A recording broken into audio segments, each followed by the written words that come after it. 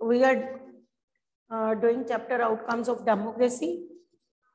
And in this, you have read about what is democracy, its two types and its features, why it is better than its alternatives. I think you have done these topics now.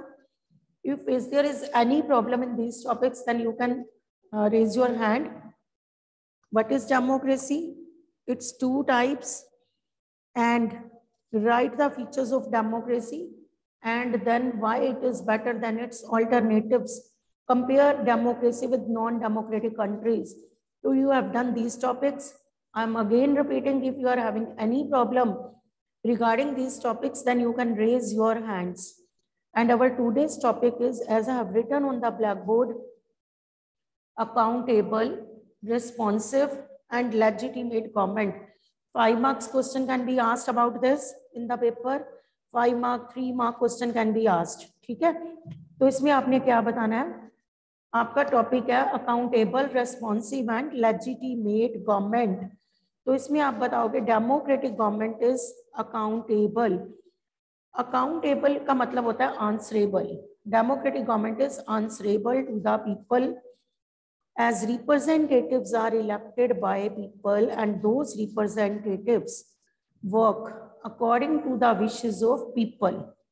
Democratic government is accountable, it is answerable to the people. Representatives are elected by people and those representatives work according to the wishes of people. So it is accountable. I'm going to repeat it again. Wait. As representatives are elected by people, so government is accountable and those representatives work according to the wishes of the people. Elections make them accountable because representatives have to face people in the next election. जब आप accountable लिखोगे ना तो एक paragraph बना के आप कर दोगे और साथ में यहाँ पे आप आरटीआई एक्ट के बारे में बता दोगे कि आरटीआई एक्ट जो है ना, वो रिप्रेजेंटेटिव्स को अकाउंटेबल बनाता है आरटीआई के according right to information act RTI right to information act के अकॉर्डिंग आप बताओगे कि people have full right to know about the functioning of the government so our government is accountable no is it clear accountable को लेके paragraph लिखना आएगा आपने लिखना democratic government is accountable because representatives are elected by people through elections and those representatives are answerable to the people and they work on the behalf of the people according to the wishes of the people elections make them answerable and right to information act also make the representatives of our government answerable हमारी government को ये answerable बना देता है right to information act because by this act people have full right to know about the functioning of the government, what are the decisions taken by the government, people have full right to know about them. तो accountable को लेके आप एक paragraph बना दोगे ना। Is it clear can you write accountable next responsive accountable में problem जिसको प्रॉब्लम होएगी I will give you five minutes in the last and you can ask your discuss your problems okay next is responsive responsive में आप बताओगे democratic government always take responsive decision government is responsible for the decision taken by it in democratic countries decision making is slow हमारी as compare to dictatorial form of government but क्यों slow है? आपको ये reason भी बताना चाहिए because government take decision after consulting large number of the people of the society तो उधर जो डिक्टेटरियल फॉर्म ऑफ़ गवर्नमेंट है ना, वहाँ पे तो खुद डिसीज़न होते हैं। बिकॉज़ मनाक और dictator never consult with the people where as in democracy decision are taken by the government after consulting large number of the people of the society तो government is responsible for the decision taken by it and it always takes responsive decision तो next is अब responsive लिखना आएगा आपको is there is any problem responsive democratic government responsive decision लेती है, अपने decision के लिए रेस्पॉन्सिबल होती है। गवर्नमेंट एक decision after consulting large number of the people of the society and government is always responsible for the decision taken by it कभी भी डिक्टेटर और मनाक रेस्पॉन्सिबल नहीं होते, चाहे उनसे कुछ गलत डिसीज़न भी लिया जाए, वो कभी भी रेस्पॉन्सिबिलिटी नहीं लेते। यहाँ पे government is responsible for the decision taken by it next legitimate government तो इसमें आप कहोगे democratic countries, representatives are elected by people through elections. Elections are held after fixed tenure and representatives are elected by people through election so it is legitimate government accountable को आपको answerable point को लेके आपको इसको paragraph की form में लिख देना आंसरेबल क्यों है गवर्नमेंट क्योंकि इलेक्शन उसे आंसरेबल बनाते हैं। Because representative they have to people in the next election तभी वो आंसरेबल रहते हैं। फिर आरटीआई के बारे में बता दो कि गवर्नमेंट तो वैसे ही आंसरेबल बन चुकी है बाय दिस एक्ट क्योंकि अब people have full right to know about the functioning of government तो इस चीज़ को आप जब लिखोगे तो अपने आप पैराग्राफ बनेगा।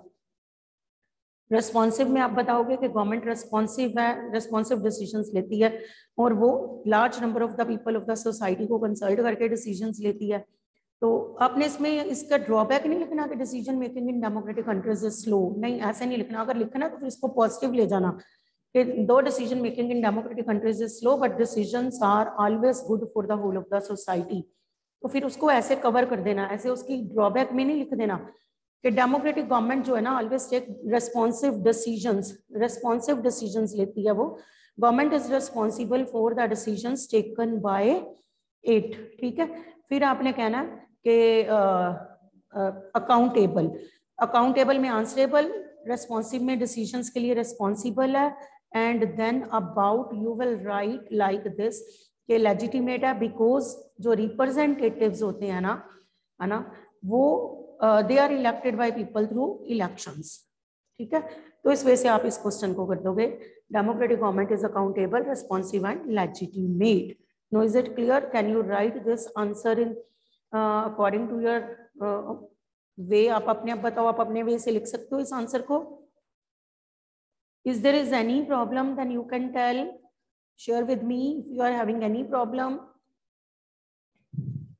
next अब इसके बाद आपका टॉपिक आ जाएगा economic development in democratic countries is slow see your book and check your next topic जो आपका बनेगा that is economic economic development in democratic countries is slow, whereas in dictatorial and other form of government it is quick democratic countries में economic development is slow whereas in other form of government other form of government मैं किसकी बात कर रही हूँ for example अगर हम बात करें मोनार्की एंड डिक्टेटरियल तो हम बात करें तो मैं कहूँगी कि डेमोक्रेटिक कंट्रीज़ में इकोनॉमिक ग्रोथ एंड डेवलपमेंट जो है दैट इज़ हम कहेंगे स्लो एज कंपेयर टू मनाकी एंड डिक्टेटरियल अब इसमें आप बताओगे in democratic countries economic growth and development is slow as compare to non democratic countries in dictatorial it is quick फिर as in democracy it is slow फिर आप कहोगे but for this this reason we can't blame government इस बात के लिए हम government को ब्लेम नहीं करेंगे. We can't held government responsible for this it is the best form of government. And there is no better option than democracy. Economic growth is slow, but we can't blame government for this. We can't reject government for this. हम government को blame नहीं कर सकते it is the best form of government today only one fourth world is non democratic because क्योंकि ये best government है तो one fourth world ही नॉन डेमोक्रेटिक रह गया that is also struggling to become democratic So it is the best form of government. Government can only create conditions and it depend upon citizens to avail benefits or not.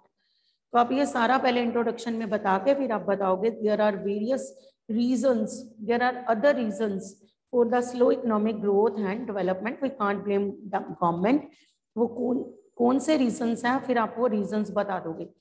अब वो कौन से reasons आएँगे? आप बताओगे growing population अब जिस country में पॉपुलेशन बढ़ती जाएगी तो अपने आप सोचो, वहाँ पे इकोनॉमिक ग्रोथ एंड डेवलपमेंट कैसे होगी, है ना?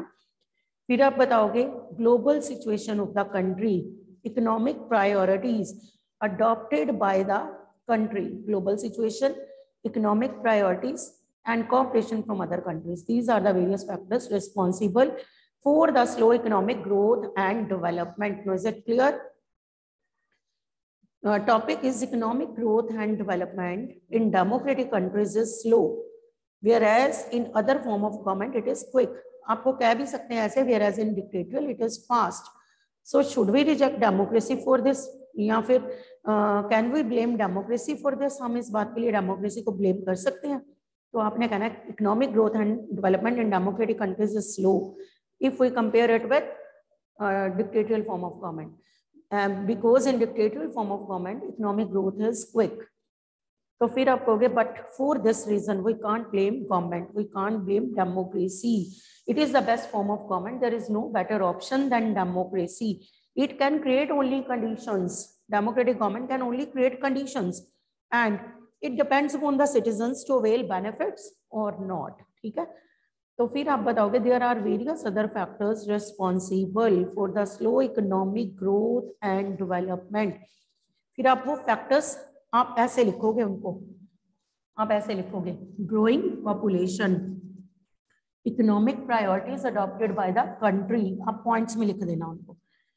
There are various other factors responsible for the slow economic growth and development for example, आप बताओगे Number one, growing population. Number two, economic priorities adopted by the country. Number three, global situation. Number four, cooperation from other countries.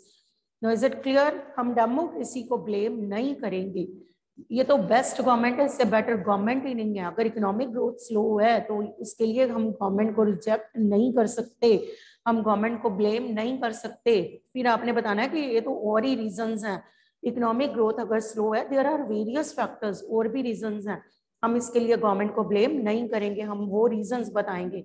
और वो reasons आपको learn करने हैं growing population economic priorities adopted by the country फिर आप बताओगे global situation and then fourth आप बता दोगे कि cooperation from other countries no is it clear दोनों टॉपिक क्लियर हो गए accountable responsive and legitimate government democratic government accountable है अनस्टेबल है, ठीक है? क्यों आंसरेबल है बिकॉज़ रिप्रेजेंटेटिव्स को किसने, आपकी क्लास के मॉनिटर होते हैं आप इलेक्ट करते हो तो मॉनिटर्स आंसरेबल रहते हैं। वो क्लास के लिए वर्क करते हैं। तो मॉनिटर्स हमेशा आंसरेबल रहेंगे, है ना? रिस्पॉन्सिव रेस्पॉन्सिबल रहते हैं। सेम एज अवर रिप्रेजेंटेटिव्स तो हम कहेंगे, उन्हें हम खुद लोग इलेक्ट करते हैं through elections and they work on the behalf of the people तो वो आंसरेबल ही रहेंगे because they have to face people in the next elections तो एक तो ये, फिर उन्हें आरटीआई भी अकाउंटेबल बनाती है। हमारी गवर्नमेंट को ही अकाउंटेबल बना दी गई। बेस्ट लॉ इसे कहते हैं आरटीआई को। राइट टू इंफॉर्मेशन एक्ट जो है ना this is the best law frame by government तो आप कहोगे आरटीआई ने हमारी गवर्नमेंट को ही अकाउंटेबल बना दिया। People have full right by this act people have full right to know about the functioning of the government what are the decision taken by government for the problem face by the people तो लोगों को पूरा right है जानने का by this act ठीक है? फिर आ गया रेस्पॉन्सिव गवर्नमेंट रेस्पॉन्सिव है डिसीज़न के लिए, अपने रेस्पॉन्सिव डिसीज़न लेती है रेस्पॉन्सिबल रेस्पॉन्सिबिलिटी लेती है, क्योंकि गवर्नमेंट डिसीज़न क्विक नहीं लेती। यहाँ पे क्विक नहीं है। Government take decision after consulting large number of the people of the society and such decision are always good for the whole of the society अगर हम डिसीज़न लोगों को कंसल्ट करके हमारी गवर्नमेंट लेगी तो आप अपने आप सोचो, वो डिसीज़न पूरी कंट्री के लोगों के लिए अच्छे होंगे। तो गवर्नमेंट उसके लिए रिस्पॉन्सिबल भी रहती है। ठीक है? फिर आपने कहना लेजिटिमेट आपने कहना गवर्नमेंट लेजिटिमेट का मेन जो मीनिंग है ना दैट इज़ के को लोग इलेक्ट करते हैं, ठीक है? फिर इसमें आप, वो अपनी पावर से नहीं बन जाते ठीक आपने बताना कि रिप्रेजेंटेटिव्स जो होते हैं they are always elected by people through elections हमेशा लोग उन्हें पावर में लेके आते हैं through elections and elections in our country are held after fix tenure तो गवर्नमेंट जो है दैट इज़ लेजिटिमेट हमारी गवर्नमेंट लेजिटिमेट है, क्योंकि उन्हें लोगों ने बनाया। लोगों की गवर्नमेंट है, लोगों ने बनाई है, ठीक है? Next economic growth and development and democratic countries is slow no doubt मैं इस वे से बोल रही हूँ कि स्लो है। इसे हम ड्रॉबैक नहीं गिनेंगे, हम कहेंगे कि हाँ स्लो है if we compare it with dictatorial form of government but for this इस बात के लिए क्या आप डेमोक्रेसी को ब्लेम कर दोगे? इस बात के लिए क्या डेमोक्रेसी को हम रिजेक्ट कर देंगे? No no. हम कहेंगे we can't blame government for this we can't reject government for this there are various other factors फिर आप ये भी बताओगे कि it is the best form of government there is no better government than democracy तो हम इस बात के लिए डेमोक्रेसी को रिजेक्ट नहीं कर सकते, ठीक है? तो इस वे से आप ये बताते जाओगे कि democracy is the best form of government we can't reject government for this reason there are various other factors responsible for the slow economic growth and development अब वो कौन से फैक्टर्स हैं? तो आप उसमें बताओगे। फ़र्स्ट आप बता दोगे ग्रोइंग पॉपुलेशन ठीक है? फिर आप बताओगे कि global situation of the country फिर आप बताओगे cooperation from other countries economic priorities adopted by the country तो these are various factors responsible for the slow economic growth and development. No, uh, I think these two topics are clear to you. First of all, in this chapter, you have read about, listen again, I'm going to repeat it again. एक बार recap कर लो जो जो पीछे पड़ा है. First is what is democracy? It is the government. Uh, it is it is a government uh, in which powers are in the hands of people. फिर आप यहाँ पे अब्राहम लिंकन की कोटेशन भी बता सकते हो ठीक है फिर नेक्स्ट टू टाइप्स हैं डायरेक्ट एंड इनडायरेक्ट इंडिया में कौन सी है? इनडायरेक्ट इनडायरेक्ट को क्या कहा जाता है? रिप्रेजेंटेटिव डेमोक्रेसी इंडिया में कौन सी डेमोक्रेसी है? Representative because in India representative elect किए जाते हैं through election and they decision on the behalf of the people where as in direct democracy collective decision are taken in the meetings of general assembly और वो कहाँ पे पाई जाती है? Small city state such as the canton of Switzerland तो इस वजह से आप बताओगे differentiate direct and indirect democracy फिर आपके फीचर्स आ जाते हैं। फीचर्स में आपको यही बताना है, सबसे पहले तो इलेक्शंस ठीक है? कि फिक्स टेन्योर पे होते हैं, कभी भी डिले नहीं होता, चाहे कुछ भी हो जाए गवर्नमेंट कांट डिले अभी भी देखो, पंजाब में फ्यू डेज़ के लिए डिले है, ठीक है? ये नहीं है कि गवर्नमेंट ने कह दिया कि इस बार इलेक्शन ही नहीं होने। नो इलेक्शन फिक्स टेन्योर पे होने ही होने हैं, ठीक है? ये एक उसका फीचर है। Where as in other form of government आप कहोगे कि वहाँ पे तो मर्ज़ी होती है डिक्टेटर की कराए या ना कराए, ठीक है? फिर आप एक इलेक्शंस बताओगे सिविल लिबर्टीज बताओगे सिविल लिबर्टीज मिली हुई या सिटीजन को आप इस पॉइंट को क्लियर इलेबोरेट कर दोगे सिविल लिबर्टीज को, ठीक है?